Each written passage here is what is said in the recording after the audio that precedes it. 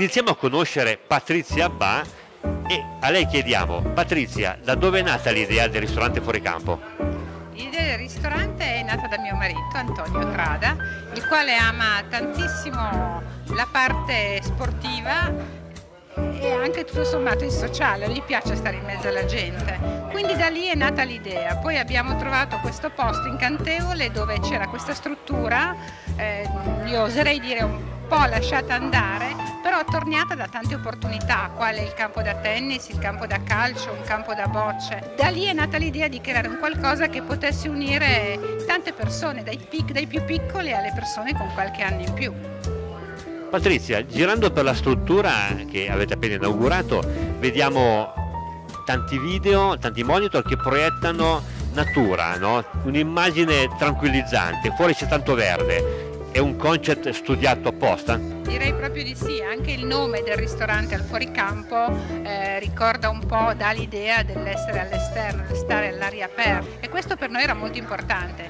Anche gli stessi materiali che noi abbiamo usato per arredare il locale eh, sono tutti naturali, partiamo dal legno, finiamo poi con la pietra, col ferro per esempio. Quindi abbiamo proprio cercato di creare un posto relax, quasi fosse un'oasi. Un'oasi a mezza collina facilmente raggiungibile un po' per tutti. Sì, direi di sì, anche perché Piatto non è in cima a un monte, insomma è a un chilometro da Valdengo e quindi è facilmente raggiungibile. Non dobbiamo dimenticare però anche il discorso cucina di questo ristorante, perché la cucina comunque rispetta le nostre idee. Abbiamo cercato di raggruppare un po' il tutto, nel senso che il cibo sarà naturale, le tradizioni saranno mantenute, magari con qualche piccolo aggiustamento nel, nel, nel preparare un piatto. Ecco, un po' di innovazione ci sta.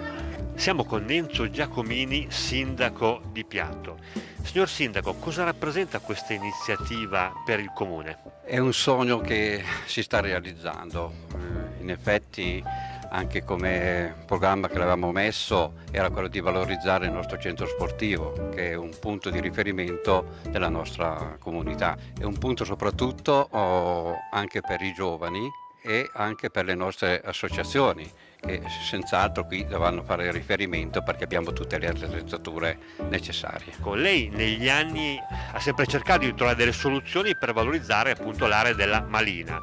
Ora cosa si potrà fare? Eh, in quest'area? Eh, già dalle immagini che vedete alle mie spalle, che avete visto anche voi tutti, è un cambiamento notevole e qui sotto gli occhi, senza dire. Qui non, non dobbiamo solo dire grazie alla famiglia Atrada, alla famiglia Abba e soprattutto Antonio, eh, Patrizia e eh, anche Fabrizio, ecco. senza dimenticare anche eh, il cuoco.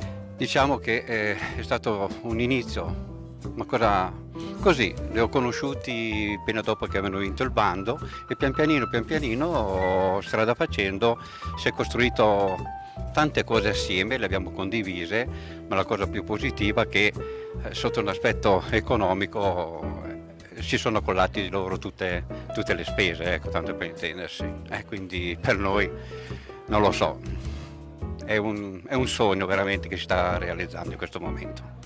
Sindaco, ultima cosa, una battuta velocissima, uno spot per, per, il pubblico perché venga a piatto qui al ristorante fuori campo.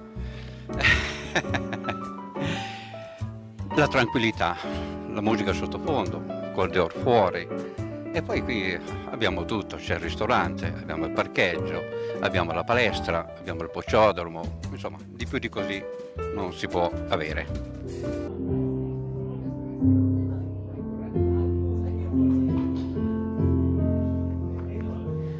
Con Fabrizio Abba, con titolare del ristorante Fuori Campo.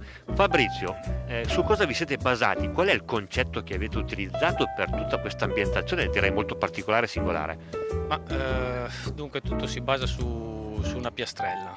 Siamo, abbiamo, abbiamo, guardato una piastrella eh, fornita da, da, da mia nipote, la figlia di Patrizia, che è una redattrice e da questa piastrella praticamente siamo andati a scegliere i colori, a scegliere gli, gli abbinamenti con legno, con il ferro e tutto quanto di lì si è, si, è poi trasformato poco per volta.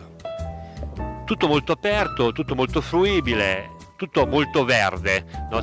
siamo in mezzo al verde. Eh, questo aiuta molto il, i vostri clienti a stare in un posto tranquillo, vero? Sì, sì, perché qui a Piatto, chi viene a Piatto trova diciamo, la tranquillità, trova, trova colori, colori, tenui, colori, diciamo, uno si può rilassare, si può rilassare tranquillamente, senza andare a cercare posti lontani diciamo, dalla, dalla città in primo fascia collinare un luogo ideale per stare anche con la famiglia con i bambini e fare dello sport, vero? Certo, qui abbiamo campi da tennis, abbiamo campi da bocce, un campo da calcio, la palestra che adesso ultimamente la, la, la ripristiniamo, la mettiamo in uso, quindi abbiamo poi altri progetti futuri eh, con degli, degli altri, altri campi per attività sportive, però progetti, ma penso che a breve riusciremo a fare anche quelli.